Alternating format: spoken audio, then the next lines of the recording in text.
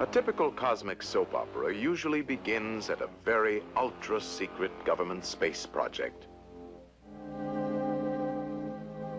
The hero is a young electronics genius who is always busy formulating new laws of thermodynamics and astrophysics. The heroine is his secretary, efficient, hardworking, and rather attractive. Of course, the villain is a mechanical robot from Mars. He is usually controlled by a Martian mastermind whose appearance is too horrible to reveal at this time. The escape device is a late model electrophlegmatic flying saucer.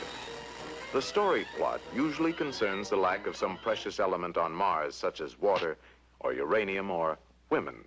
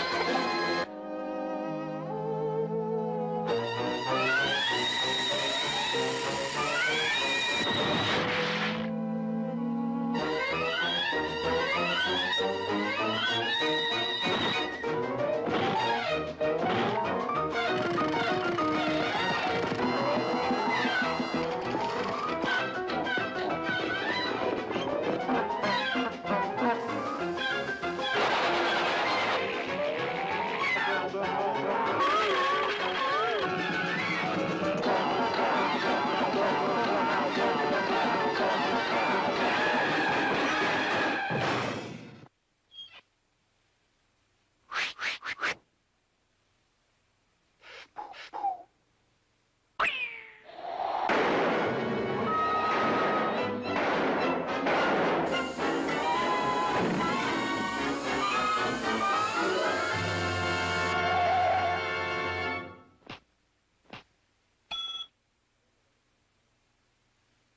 Take a letter, Miss Smith.